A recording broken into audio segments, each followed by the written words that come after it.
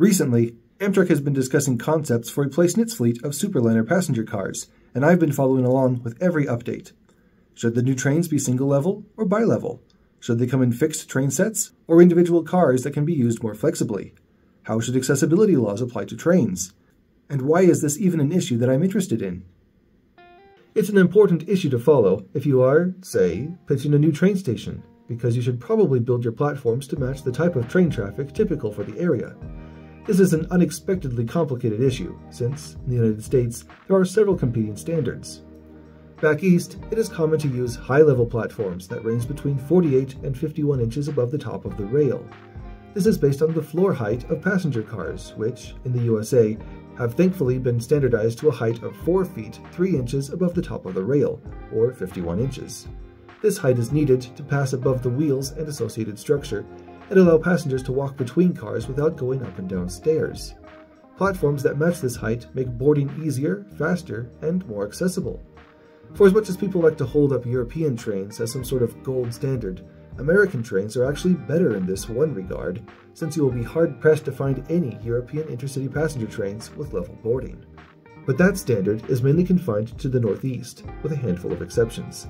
In the rest of the country, we've settled on a standard of 8 inches above the top of the rail, this is an improvement over the previous standard of no platform at all, which required conductors to place an 8-inch step stool on the ground as passengers boarded and exited. In general, and not just for trains, the typical vertical rise per step on a typical set of stairs is between 7 to 9 inches, and most rail cars settled on a standard of an 8-inch step stool followed by 5 built-in stairs up to the usual 51-inch floor height of the car, these stairs are sometimes covered by a movable trap door so that the car can stop at high-level platforms too. The reason for not constructing high-level platforms in the first place was primarily cost, since building the structure of a high platform is both expensive and requires regular maintenance, which often can't be justified for low volumes of passengers. But there is also a physical consideration too. Passenger trains are usually only 10 feet wide, while freight trains have grown to be 10.8 feet wide, this width doesn't necessarily apply to the actual measured width of the freight cars themselves, and instead includes the dynamic envelope, which is the distance that trains rock back and forth when in motion. A swaying freight train, or even an express passenger train, has the potential to lean out and impact with a platform built too close to the tracks. This means that anywhere there are freight trains, any structure above 8 inches tall must be moved back from the tracks, which would leave an enormous gap between the platform and the passenger car. This has led to several creative solutions from transit agencies who want level boarding, such as these drawbridge type things in San Diego that lower down during the hours when passenger trains use the tracks, but raise up at night when freight trains have trackage rights. Or these tracks within tracks, called gauntlet tracks in Sonoma, California, where freight trains are routed onto these two rails farther away from the platform.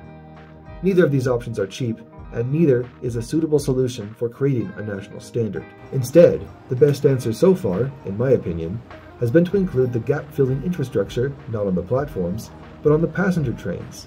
Gap fillers are not uncommon in transit systems around the world, but were introduced to the United States in a very big way by Brightline in Florida. These consist of a retractable floor that extends out whenever the doors open. This allows Brightline passengers to have a seamless and accessible boarding experience, while also allowing freight trains to pass through on the same tracks without needing to raise drawbridges or switch to gauntlet tracks. My opinion is that this should be the new North American railroad industry standard. If I had my way, all new platforms being built for intercity passenger trains in the United States would be 51 inches tall above the top of the rail and would be 5.5 feet back from the center of the track. Simple, sure, but would this really solve the problem? Unfortunately, no because in fact, not all passenger cars follow the standard floor height of 51 inches above the top of the rail. Bi-level passenger cars can certainly be built so that a portion of the 51-inch floor height is included. New Jersey Transit's multi-level coach is a great example, but this greatly limits the utility of the bi-level design. For transit applications, it is more efficient and convenient to allow passengers to board on the bottom level than circulate up to the upper level as the train gets going. Separation from the doors below provides an extra tranquility to the upper level, and the lower level can include space for bicycles, luggage racks, or restrooms without compromising the rest of the car. Most transit-focused bi-level cars feature a lower floor height of 25 inches above the top of the rail, which is too high for level boarding on tracks shared with freight trains.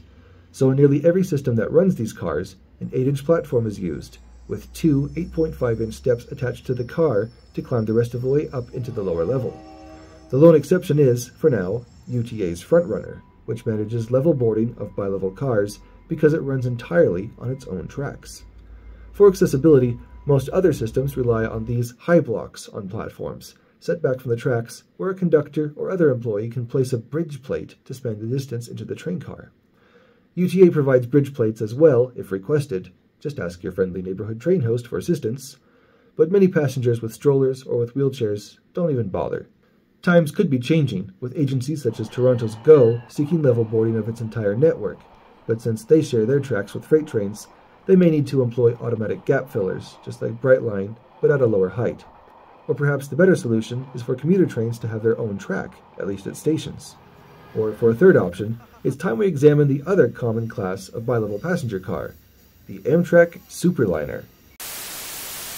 Come aboard our magic world on wonder and there's friendship all around. The Superliner experience. There's nothing quite like it on earth.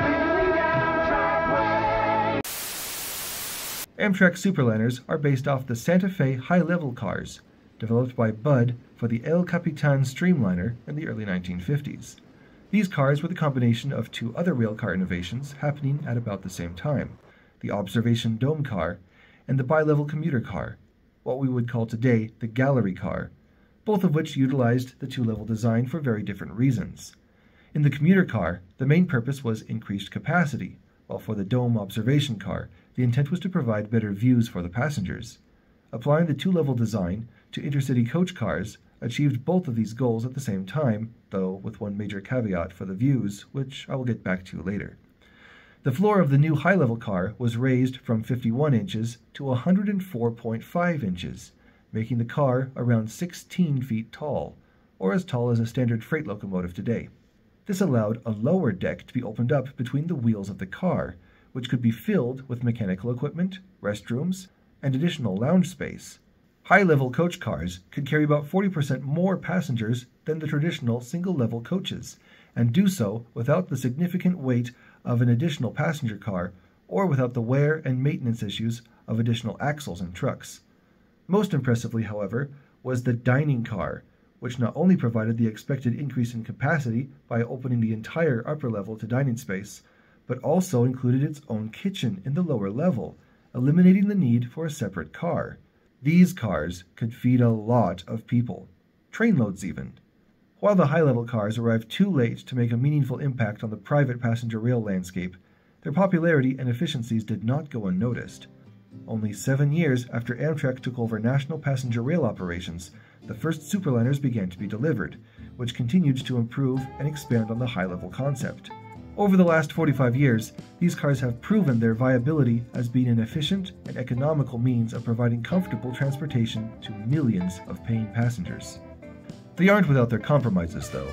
Because of their height, they are unable to run on the Northeast Corridor, which has multiple tunnels built specifically for shorter passenger equipment. Contrary to popular belief, the overhead electric catenary is not a concern, except again inside those low clearance tunnels.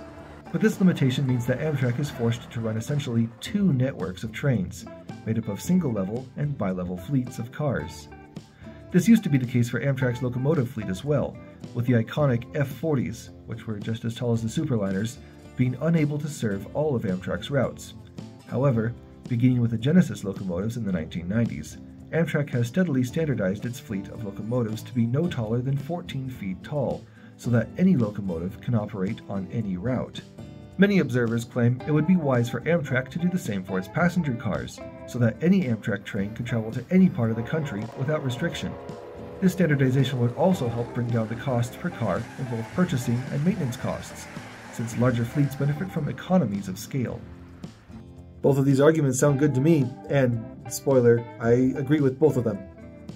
But perhaps the biggest compromise for the Superliner design is the Americans with Disabilities Act, which requires basic amenities to be accessible to all passengers, even those who use a walker or a wheelchair to get around.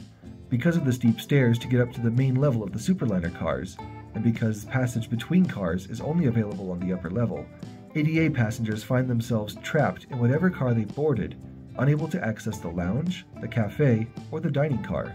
These drawbacks led many to conclude that the 70 year old experiment in bi-level passenger equipment was due to end, and that Amtrak would be forced to use single level cars everywhere on their system. But recently, news broke that Amtrak is petitioning the Federal Railroad Administration to change the way they interpret the ADA requirements. If Amtrak gets its way, a set of semi permanently coupled bi-level cars could form a core of a train, which would be made ADA accessible thanks to the wheelchair lifts built into one or more of the cars. A passenger with ADA requirements could board a designated car equipped with a lift, say the observation lounge, and then be able to roll to the diner, a coach, or a sleeper car, thanks to gangways created by semi permanent couplings. Some newer, non Amtrak bi level cars, built after the ADA was passed in 1990, are equipped with in car wheelchair lifts, such as the Stadler Gold Leaf cars built for the Rocky Mountaineer. These cars are 18 feet tall, two more than the current Superliners, and actually feature passage between cars on the lower level of the car, at the standard 51 inches tall. Theoretically, it's even possible that a car this tall could feature passage between cars on both levels, which has never been done before anywhere in the world, but which I would love to see. Unfortunately, while 18 feet isn't especially tall for American trains anymore, your basic Autorack car is 19 feet tall, and a double stack container car is well over 20 feet tall. This height still isn't permitted everywhere Amtrak trains would need to go. Obviously, the Northeast Corridor is out, but so are other important routes, such as the Front Range west of Denver, which has a height limit of 17 feet, or Chicago Union Station, the hub of Amtrak's bi-level fleet. Since I cannot help myself, I created my ideal version of what I would like to see as an Amtrak long distance bi-level fleet replacement. First, I think it would be best to design the base model of a bi-level car not as a coach car, but as a sleeper car. One of the biggest drawbacks in current Superliner sleeper cars is that the top bunk gets no window, unlike cars designed as sleeper cars, such as the Viewliner fleet. By designing the structure of the car from the beginning to provide these two levels of windows, there would be a lot more interesting arrangements for the dining and lounge cars. In fact, I don't think it really is all that advantageous to build a coach version at all. Like I said before, I agree with the arguments about a single level fleet of coach cars being able to run anywhere in the national network. What that means is that my ideal train would consist of the locomotives and single level coaches of a typical medium distance Amtrak route in the front, which would connect to a semi permanently coupled set of bi level cars consisting of several sleeper cars in the back, a dining car in the middle, and a lounge, observation, transition car at the front to serve as the connection between the high and single level fleets. My ideal layout would involve two wheelchair lifts, the first going from the standard 51 inches down to the 15 inch high lower level, with the second lift connecting that lower level with the 104.5 upper level. I had to use two lifts because I wanted to include, and again, I must stress that this is my own creation, a forward facing dome observation area that would look out above the single level coaches up to the front of the train. Dome cars once allowed passengers to see ahead, as if they were the engineer, or at least a brakeman in the caboose, and this feature was lost when Amtrak decided to have trains consisting entirely of high level equipment. While I believe this design would be feasible using the current 16 foot height limits, for this CAD drawing I am showing the height of 17 feet. This extra foot would make the dome observation area slightly easier to access, having the same height above the seat as a typical airplane seat below the overhead storage compartment, and would also give the rest of the train 8 foot ceilings. That height, in turn, would allow Amtrak to experiment with another long term fascination of mine, that being hotel pods just large enough to hold one person. These pods would be 4 feet tall, allowing the occupant to sit up straight within their pod during daylight hours, though obviously there would be the lounge cars for stretching one's legs. This would increase the total capacity of the train by allowing persons who would otherwise have to book a roomette for just themselves to book instead just the space they actually need, while freeing the empty bed and lost revenue Amtrak could have made. Making sleeping car accommodations more available to single riders would go a long way to making Amtrak more affordable for many travelers, especially as night bus services around the world are beginning to offer this kind of service already. I've gotten sidetracked again, haven't I? Back to the issue of platform heights. The Superliners currently have a boarding height of 15 inches above the top of the rail, meaning that at stations with an 8 inch platform, there is only a 7 inch step up into the car, and the standard 8 inch step stool is not needed. However, this step, no matter how small, does mean that some ADA countermeasures are needed. Most Amtrak stations will now feature a little shack, like this one, in which Amtrak houses a mobile wheelchair lift. When needed, this lift can be unlocked from its shed and moved into position, but one has to wonder at the expense of stationing all these lifts around the country, maintaining them, and building sheds for them. This is not a sustainable solution for the long term. Salt Lake City, which has two Amtrak specific station tracks, is among the very few cities in the United States to have built a platform specifically for Superliner cars, matching their 15 inch floor heights for an easy boarding experience, but also making the platform essentially useless for any other kind of car. You may occasionally see another train parked at the platform, but the way the stairs align with the platform is less than ideal. This also, I believe, makes Salt Lake Central Station unique in that it has two non standard platform heights and zero standard heights, so long as you don't count the TRAX platforms. Other cities, like Denver, build special high blocks on their platforms where they knew Amtrak Superliner's doors would align, so that a bridge plate can be used to board passengers, very similar to other high blocks used on other commuter lines. But honestly, I think the easiest solution is staring us in the face, especially here in Salt Lake City. Another popular rail vehicle that uses a 15 inch floor height is the Siemens S70 and S700 light rail vehicles, used here on the TRAX red and green lines and soon the blue line as well. These cars feature an automatic ramp that extends on command and bridges the 7 inch rise without issue.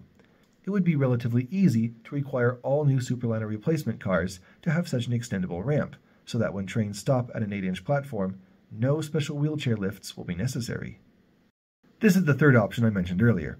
If all new commuter rail cars could also have a lower level floor height of 15 inches instead of 25 inches, then all commuter trains would be able to use the system as well. That way, we could have only two national standard platform heights of 8 inches and 51 inches, able to handle any kind of passenger car in the country. Alright, so far so good, but what should we do about the Rio Grande Depot?